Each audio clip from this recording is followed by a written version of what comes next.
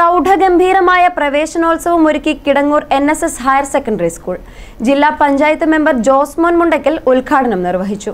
രണ്ടു മാസത്തെ വേനലവധിക്ക് ശേഷം വിദ്യാലയത്തിലേക്ക് എത്തിയ കുരുന്നുകളെ സ്വീകരിക്കുന്നതിനായി ഒരുക്കിയ പ്രവേശനോത്സവം ഉത്സവ പ്രതീതി സൃഷ്ടിച്ചു. രാവിലെ തന്നെ പുത്തനുടുപ്പും വർണക്കുടകളുമായി വിദ്യാലയത്തിലെത്തിയ കുട്ടികൾക്ക് വർണശബളമായ വരവേൽപ്പാണ് അധ്യാപകരും രക്ഷിതാക്കളും പി ടി എയും ചേർന്ന് നൽകിയത്.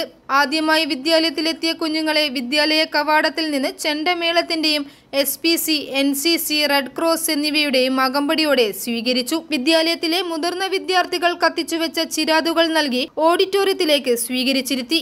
സ്വാഗത നൃത്തത്തോടെ പരിപാടികൾക്ക് തുടക്കം കുറിച്ചു. ഈശ്വര പ്രാർത്ഥനയ്ക്ക് ശേഷം വിദ്യാർത്ഥികൾ ആലപിച്ച പ്രവേശനോത്സവ ഗാനം കുട്ടികളിൽ ഏറെ ആവേശം പകർന്നു. School P T A president Ashok Kumar Poothamana അധ്യക്ഷ പദവി അലങ്കരിച്ച യോഗം ജില്ലാ പഞ്ചായത്ത് മെമ്പർ ജോസ്മോൻ മുണ്ടക്കൽ ഉദ്ഘാടനം നിർവഹിച്ചു.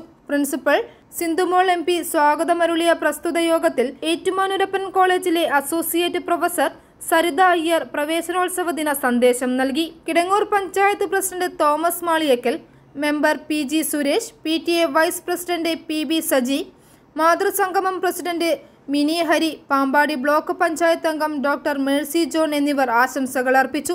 School head master R Bijukumar കൃതജ്ഞത രേഖപ്പെടുത്തി. പ്രസ്തുത യോഗത്തിൽ ഈ വർഷം S S L C plus two പരീക്ഷകളിൽ ഉന്നത വിജയം നേടിയ വിദ്യാർത്ഥികളെ അനുമോദിച്ചു. ഐഫോറിയനോസ് പാലാ.